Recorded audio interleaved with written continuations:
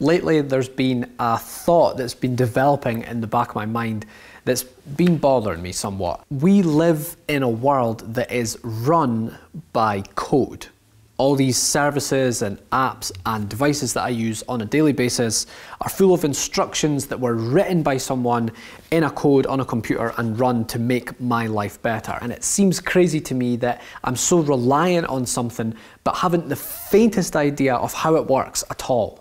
I've always wanted to learn, I've always wanted to write something myself, but I really struggled with the terminal layout and the, the very blank vanilla text that has no graphical interface. I think for me to start learning something like this, I really, really need some sort of visual graphics to play with here. And that's when YouTube's algorithm, which was coded by people, recommended me a channel called The Coding Train. This guy, Daniel Shiffman, is a fantastic programmer and an excellent teacher and he does these videos where he does a coding challenge so he'll code Flappy Bird right there in front of you live in like less than half an hour. So inspired by this channel, which you should definitely check out by the way, I want to code something for myself. I want to learn how to do this. I want to learn to program a fun, simple game that runs in a browser so that anyone can play this. As always, this is day one, hour zero. Let's get started. All right, step one. I need to learn the basics of programming and writing in the language I want to write this game in. Technical details. I'm going to write this using a tool called P5, which is a JavaScript library.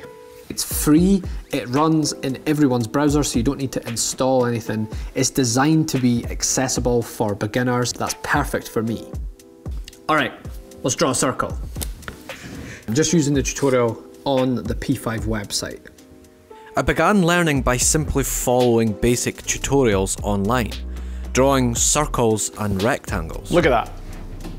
That is a gorgeous circle, perfectly round. I found the way P5 is written to be really intuitive, and for the first time with programming, it felt like I was getting somewhere.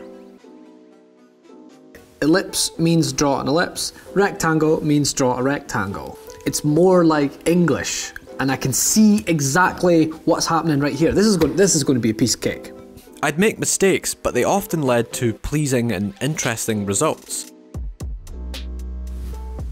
I've made art. Next, I tried copying other people's code and messing around with it to see the effects, and to try and gain an understanding of how it worked. I found this to be one of the most effective learning methods. I typed it line by line along with uh, the coding train. By doing this, it means I have a code that runs, so um, you know I can play around with it. That's really Once nice. I gathered enough knowledge, I thought I'd challenge myself by attempting to write my first little program. So I've got an idea for the first original project that I want to create. You know the DVD like bouncing screen where it bounces all over the screen and everyone wants it to bounce off the corner? I think it'd be cool to code something like that. So just a little rectangle that bounces around the screen, hopefully one day hits the corner. I don't know.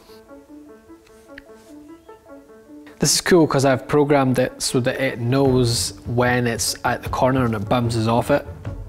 So what I want to do now is set this to have a random direction and location so it's really like the real DVD screen. Do nothing. And this is the exact same as leaving a blank else statement in there. How it changes colour each time it hits off the wall is equal to v cos theta. If Miss Milne, my maths teacher, is somehow watching this, you'll be pleased to know that 15 years later, I still got my trig down. Thank you very much. okay, that's just a little bit fast. it took me more than four hours to write this code, which is only 49 lines. But if I run it, that is a good approximation of the DVD. Oh, yeah, it does. It does.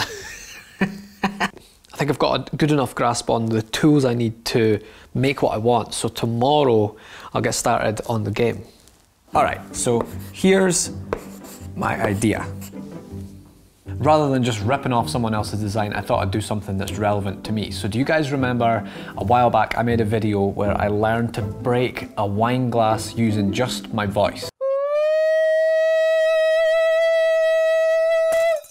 Yes!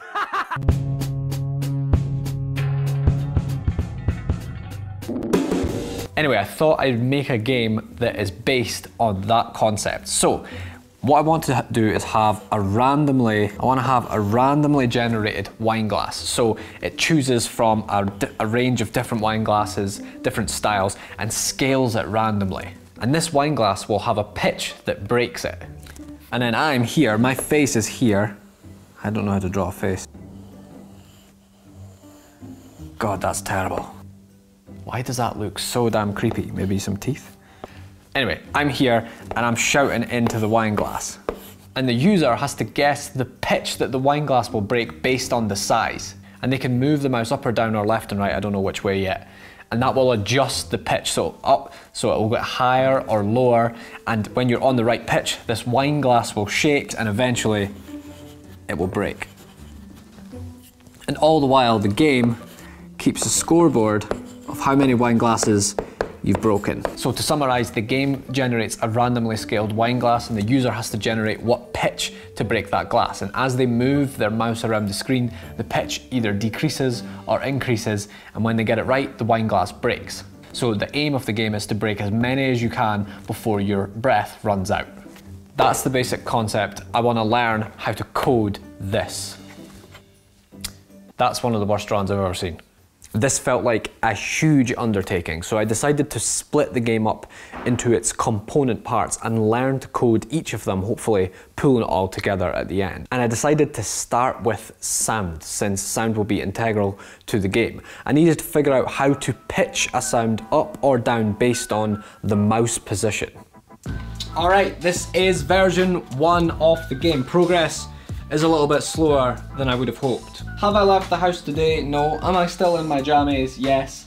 Is the only thing I've eaten an entire packet of peanut M&Ms? Yes. But check this out. So this code plays this MP3 file over and over again, and based on where my mouse is on the screen, it pitches it up or down. It's pretty cool. Progress was slow. I knew what I wanted, I just didn't know how to code it. A lot of the time I would end up with code that actually runs but didn't produce the intended result.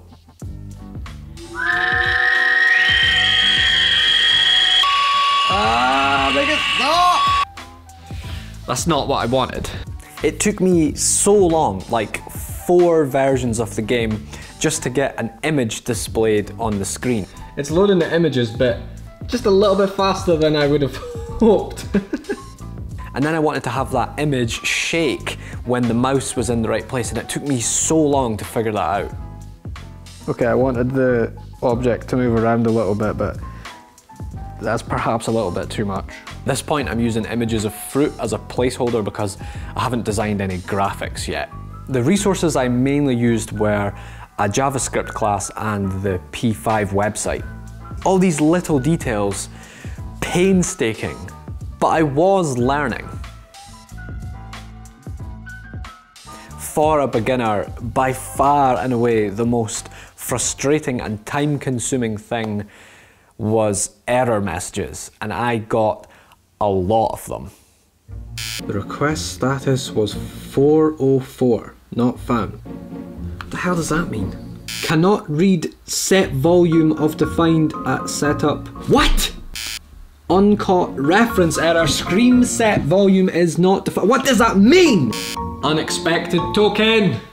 Cannot read property type. What? I always get this error. I didn't change anything. Unexpected end of input. Unexpected token. Unexpected token else. Error. What error is it now? Error! Error. Again. Error. Error. Error, error, error, error, error, error, error. After debugging so many errors, I started to learn how the computer thinks a little bit. Actually, the biggest change to my workflow was when I went right back to basics. When I had an idea that I wanted to implement rather than just jump straight onto the computer and start coding, which would just result in hundreds of errors, I actually got a pen and paper and scribbled out my ideas. This workflow worked so much better, and by the time I got to coding, things went way smoother. I was beginning to figure this out. All right, we are at version 15 of the wine glass game now. And the mechanics and how this all works is kind of where I want it to be. For example, you have a health bar and a breath bar and a score. Uh, and you can shake the glass at the right pitch and it will break, pushing the spacebar to restart the game, and health going down, breath going down, keeping score. It all works. Now most of the code is written, it's time to bring this game to life with some graphics and some proper sound design. Doing the sound design for this game, I wanted to create a rich, vibrant, diverse soundscape that allows the user to really be immersed within the game. We've added all these recording techniques in the mixing pot to create what I think is the most profound sonic experience in a game today. Take one.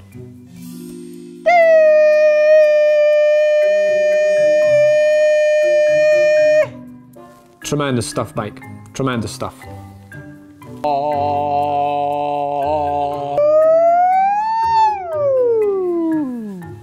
He's really getting in the zone now. This is going to be magnificent.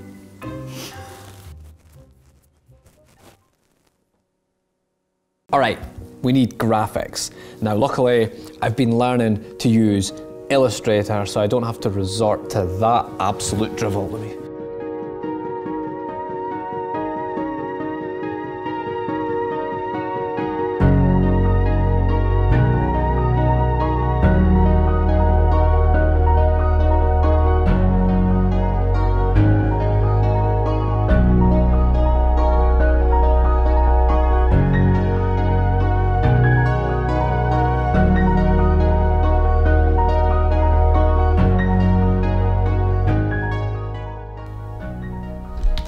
Okay, it is very, very late, but I'm going to upload this video tomorrow. So let's get these graphics baked into the game and also make a couple extra tweaks just to make the game a little bit more playable.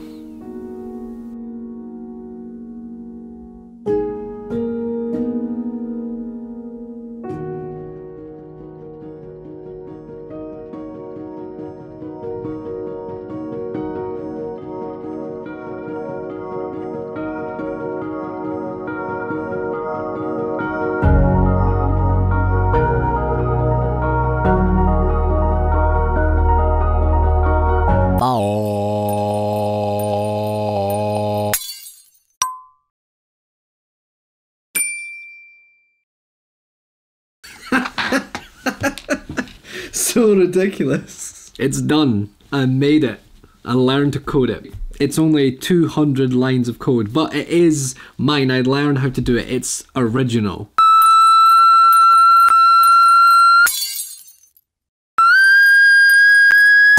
Like and subscribe, punk. By the way, you can play it too um, for free, of course. I'm going to leave a link in the description. Please go and check it out. Let me know what you think on Twitter or in the comments. yes! For this video in particular, Skillshare came in really handy because there was a bunch of different things I needed to learn to pull this project together. JavaScript, obviously, but also Adobe Audition to clean up the audio and Illustrator to design the graphics. And I got pretty good at it too. Check out this logo I also made for the channel. Skillshare classes are made by people who are not just experts in their field, but really excel at teaching. This means I don't have to worry about crappy, unclear audio or really confusing instructions. I can just jump in, learn what I need, and then get back to creating. Skillshare now has more than 25,000 classes like these available on the platform, which means that you can learn whatever you like. Perhaps a skill just to better yourself, or maybe a skill that you need to learn for work. I teach a class on Skillshare too. It's about learning and how to optimize your process to reduce frustration, increase your odds of achieving your goals, and speed the whole process up. I think one of the things people struggle with when learning a new skill is that feeling of just wanting to quit early when they first encounter difficulty. This class has a bunch of strategies that I use to mitigate against that and prepare for that lull in the learning curve. You can check out my classes or any number of the 25,000 available for free using the link in the description, which will get you two months of Skillshare Premium for free. Hurry though, that offer is only available to the first 500 people. So if you want to take on an ambitious project like this that requires a little bit of knowledge from a bunch of different disciplines, then give Skillshare a go. Use the link in the description to get two months for free and there's no commitment to carry on after that offer period ends, so you're free to have a browse around and see if it suits you. And by doing that, you'll also be helping out the show. Thank you very much for watching. I'll see you next time. Peace.